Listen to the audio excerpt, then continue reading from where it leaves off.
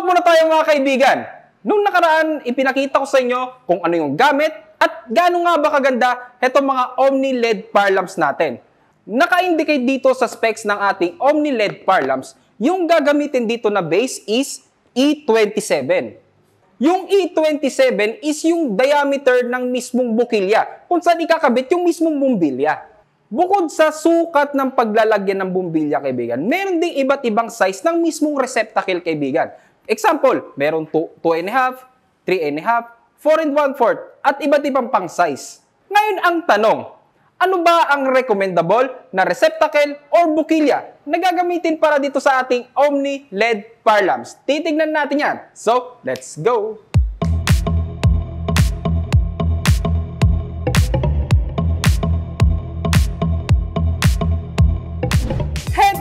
Match dito sa ating Omni LED power lamps.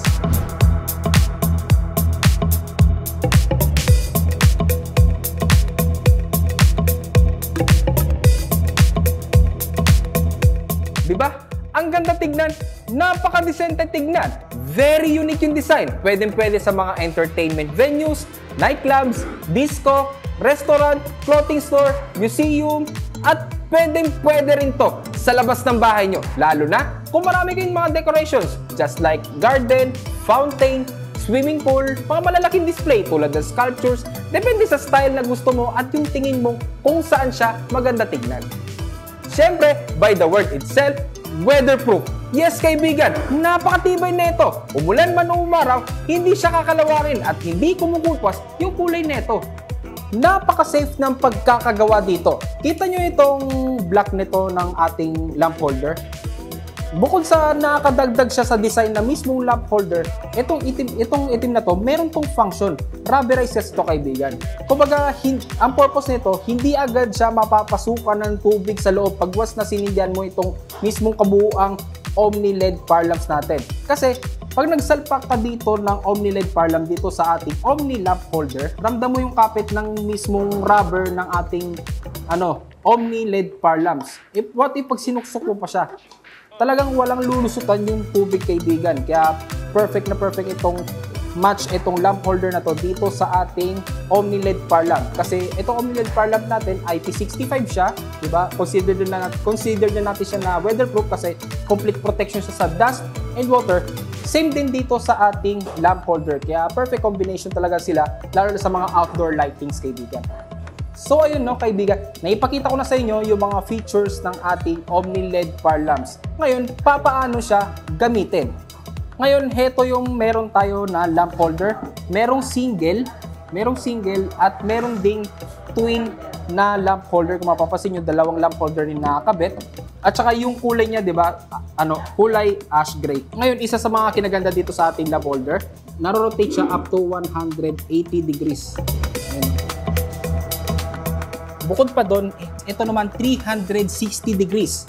The same din dito sa ating twin lamp holder. So, for example, nakakabit na siya dun sa ceiling nyo or wall kasi itong single natin, itong single natin at saka yung twin lamp holder, ano siya kaibigan?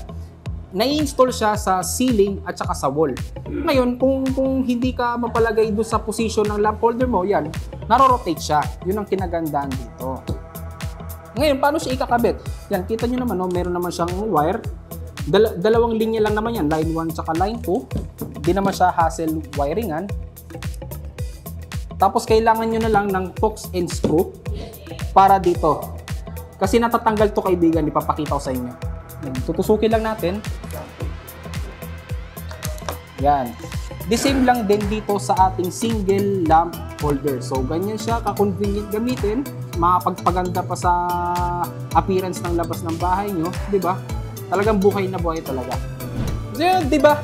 Napakasimpleng gamitin lang it, ng itong Omni lamp holders natin. Bukod sa single, tsaka sa twin head natin na lamp holder na nakakabit sa wall, tsaka sa ceiling, meron ka pang ibang options. Kung gusto mo naman na nasa ground, meron din kami. Yung ground, meron ding single, tsaka twin. Ang kulay niya, ash gray, same dito sa ating lamp holder na kinakabit sa wall, tsaka ceiling. Tsaka kung gusto niyo naman ng black color na lamp holder, meron, meron din kami Pero single siya, wala siyang twin at makabit din siya sa ceiling at sa wall. So ang daming choices. Kaya kung sa'yo, kumuha ka na at ma-order mo to sa Shopee and Lazada online store at syempre dito sa aming physical store Trev Electrical.